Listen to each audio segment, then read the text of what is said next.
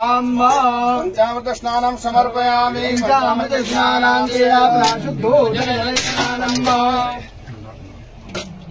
शुद्धबालः सर्वशुद्धबालो मरिवालताश्विनाः श्वेतः श्वेताक्षूर्णशीलाय पशुपतये कर्णाजामा अवलिता रुद्रान्नभौरूपाः भारतन्याः mobile हटा ना mobile हटा जल्दी। जल्दी हटाओ।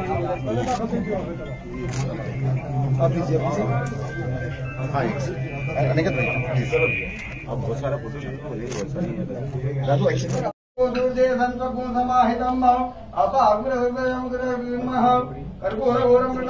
मुन्दारसारम् मृगेन्द्रहारम् आरविन्दे भवम् भवानी नमामिः कर्पूरपूरेण मनोहरेण प्रदिप्तपादासङ्गतेन नारायणाय नमस्करोमि। कर्पूराराधिकम् समर्पयामि। जलेन आराधिक्यं समर्पयामि। जलेन शीतलीकरणं मा पुष्पै देवाभिवन्दनं मा देवं दध्यात आत्मरक्षार्थे स्वयं गृहीत्वा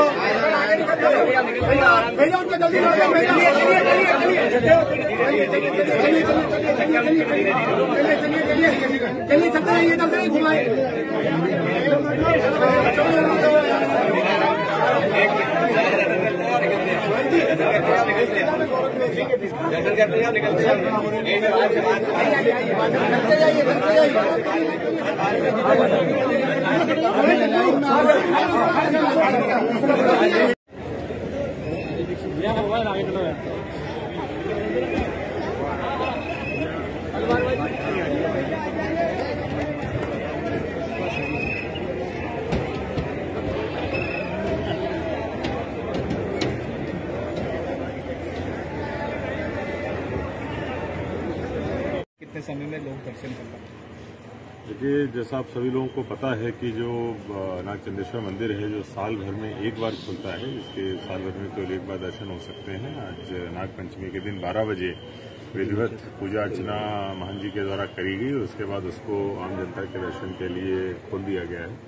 सभी श्रद्धालु बहुत उत्साह से दर्शन कर रहे हैं, और इसके लिए शाम को आठ बजे से ही लाइनें लगनी चालू हो गई थी। ये अच्छी बात है कि जो हमारे द्वारा एक नए स्काई ब्रिज का, एरो ब्रिज का जो भी निर्माण किया गया है, उसकी वजह से बहुत ही सुगमता से, बहुत सरलता से और बहुत तीव्रता से दर्शन सभी श्रद्धालुओं को हो रहे हैं और जितनी बहुत लंबी लंबी लाइनें आठ बजे से चालू हो गई थी, निश्चित रूप से उनमें काफ़ी कमी आई है और मुझे लगता है कि अगले दो तीन घंटों के अंदर स्थिति और ज़्यादा नॉर्मल हो जाएगी।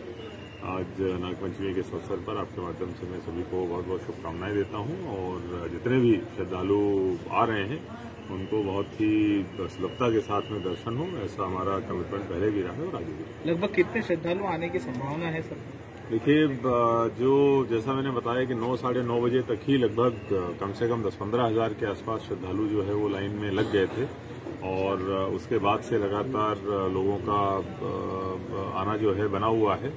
मुख्य जो भीड़ है जब सुबह जैसे ही होगी, दोपहर तक और भी ज़्यादा बढ़ने की संभावना है। तो जो हमारे पुराने अनुभव हैं और जैसा हमने पिछले सोमवार में और इतवार को देखा है, मुझे लगता है कि कम से कम पाँच लाख लोग जो हैं वो दर्शन करके अगर जाएँगे और उसी हिसाब से हमने सारी व्यवस्था जमाएँगे थैंक यू